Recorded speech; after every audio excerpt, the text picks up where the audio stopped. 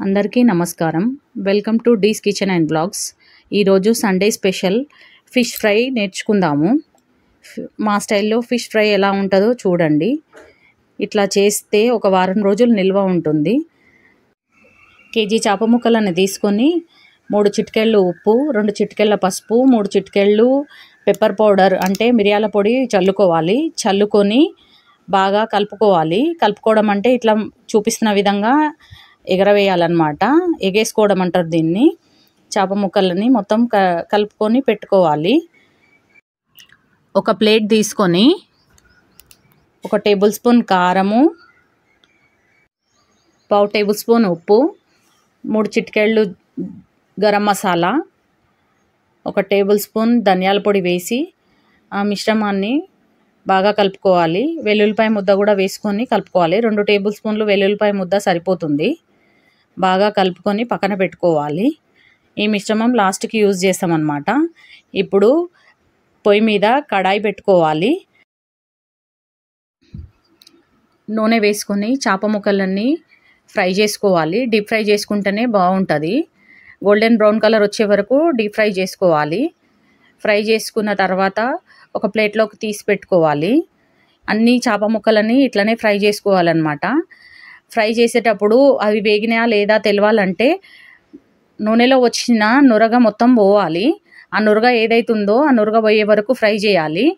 Fry అయినట్టు అప్పుడు తెలుస్తుంది అనమాట ఇది ఒక టిప్. ఫాలో కండి. బాగుంటుంది.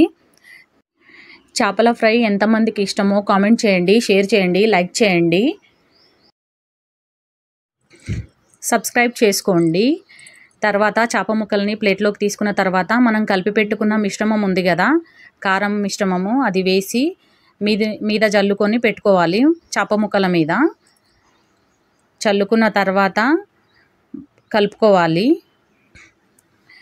గార్నిష్ కోసము కొంచెం కరివేపాకు పచ్చిమిర్చి కూడా ఫ్రై చేసుకున్నాము మేము. అది చేప ముక్కల మీద వేసేసుకోవాలి. ఏవైతే మనం మిశ్రమం కొంచెం వేసి కలిపి పెట్టుకున్నామో ఈ రకంగా ఫ్రై చేసుకుంటే సరిపోతుంది. ఈ ఈ రెసిపీ వన్ వీక్ నిల్వ ఉంటుంది. మీరు కూడా ట్రై చేయండి. అన్ని చేప ముక్కలని ఒక బేషన్లోకి తీసుకొని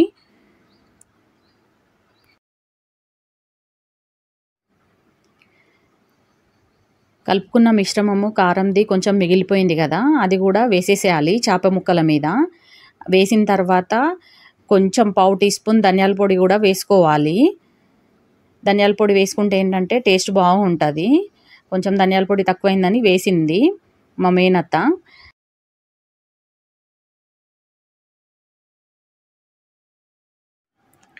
రెండు స్పూన్లు వెల్లుల్లి ముద్ద కూడా వేసుకోవాలి. వెల్లుల్లి ముద్ద వేసుకుంటే చాలా బాగుంటుంది.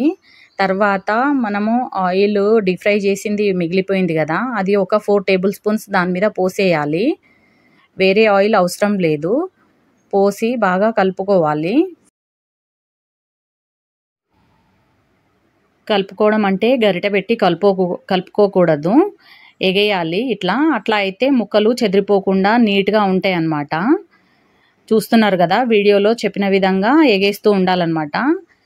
కారం ఉప్పు మసాలాలు అన్నీ ముక్కలకి బాగా పట్టి మంచిగా తయారైపోతుంది ఫిష్ ఫ్రై అనేది. Thanks for watching subscribe to my channel